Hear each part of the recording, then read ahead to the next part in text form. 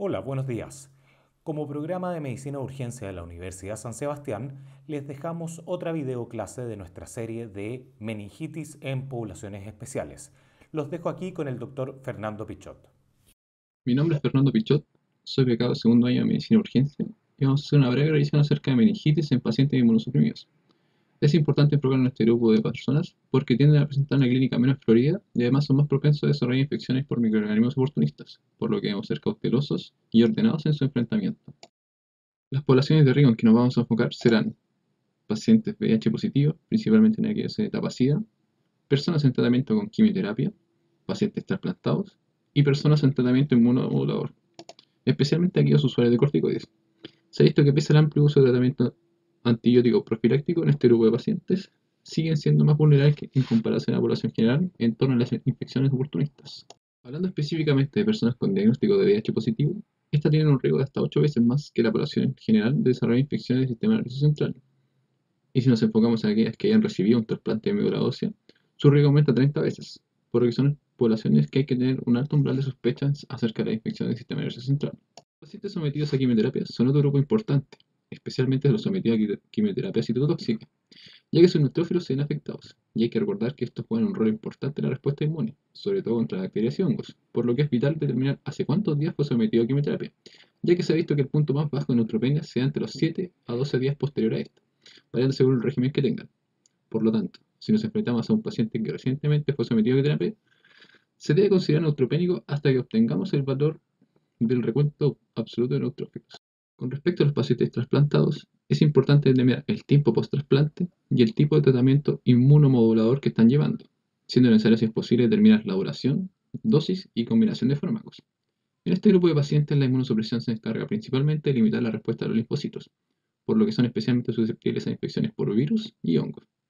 Con respecto al tiempo, se ha visto que la inmunosupresión durante el primer mes aún no juega un rol tan importante, por lo que las infecciones más relevantes en este periodo se deben a infecciones asociadas a la atención de salud.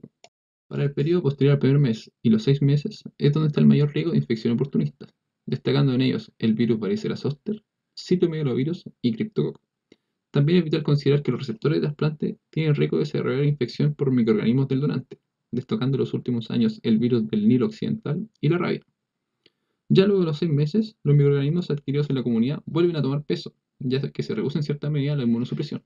Aún así, estos pacientes siguen teniendo un riesgo sustancialmente mayor a infecciones del sistema nervioso central que la población en general.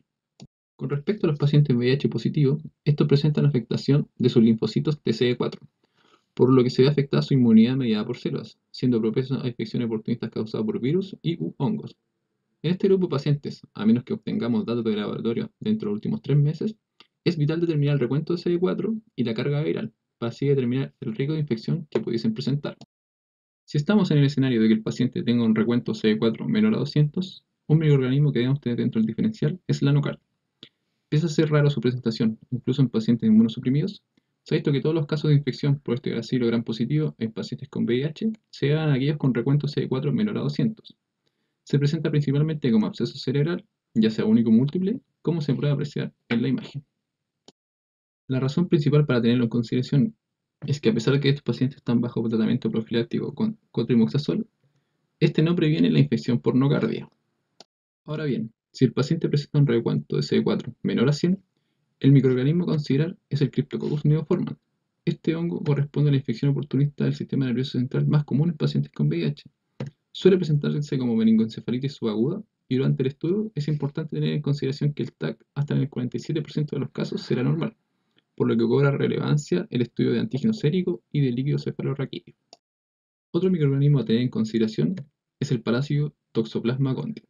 Se presentan aquellos pacientes ya infectados por ooquistas presentes en carnes mal cocidas y en arena de gatos, y al estar con estos niveles de inmunosupresión, se reactiva y genera la infección, presentándose con cuadros de encefalitis y o abscesos.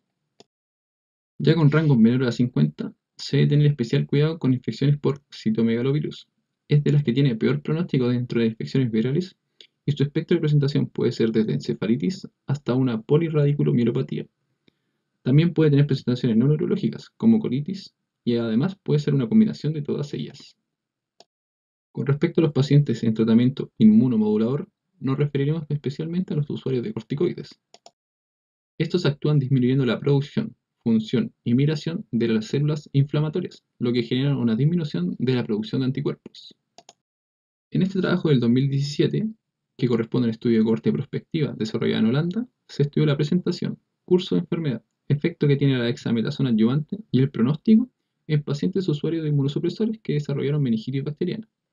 Para esto hicieron una corte prospectiva desde el 2006 hasta el 2014, recopilando 1.447 casos, de los cuales 87 de ellos fueron en pacientes con terapia inmunosupresora, en donde el 82% de ellas estaba usando corticoides. Dentro de los cultivos, los microorganismos más frecuentes fueron neumococo con 41% y listeria con 40%. Uno de los hallazgos importantes de este trabajo destaca que dentro de las manifestaciones, los pacientes bajo terapia inmunosupresora son menos propensos a presentarse con cefalea y o rigidez de cuello, por lo que su clínica es poco sugerente. Y además en el estudio del líquido cefalorraquídeo, tendían a presentar menor recuento total de leucocitos, con un 46% de los casos con valores menores a 1000. Respecto a la mortalidad del cuadro, fue mayor en el grupo con terapia inmunosupresora, con 22 pacientes muertos que corresponden al 25% de los casos, en cambio, en el grupo sin inmunosupresión, la mortalidad fue de 16%. Respecto al uso de dexametasona adyuvante, en el grupo usuario de inmunosupresores, al 60% de ellos se administró según las recomendaciones internacionales de dosis de 10 miligramos. Al comparar entre aquellos que usaron versus los que no, se observó un resultado desfavorable en el 40% de los pacientes en los cuales se utilizó dexametasona. Esto en comparación con 51% de los casos con resultados desfavorables en el grupo sin uso de dexametasona y, al analizar la mortalidad en ambos grupos, se observó una tendencia hacia la protección en pacientes que se utilizó dexametasona, esto sin lograr la significancia estadística. Para ir ya finalizando, proponemos un algoritmo publicado en el Lancet del 2012, en donde al enfrentarnos a un paciente que sospechemos tenga una infección del sistema nervioso central y este corresponde a un paciente inmunosuprimido, debemos realizar un estudio con neuroimagen previa, en búsqueda de lesión de masa. Si la presenta, pero no tiene signo de herniación, debemos realizar un estudio con punción lumbar, variando las opciones de microorganismos causantes si presenta una o varias lesiones.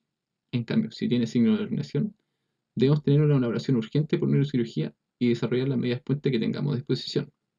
Ahora bien, si no presenta lesión de masa, es importante realizar de igual manera el estudio de líquido cefalorraquídeo, sin olvidar lo vital de iniciar terapia antibiótica empírica lo más pronto posible, con previo uso de corticoides o bien en conjunto. Espero que haya sido de su agrado la presentación y que nos sirva para que tengamos en cuenta a este grupo de pacientes y ampliemos el diferencial de las posibles patologías que lo pueden afectar. Muchas gracias.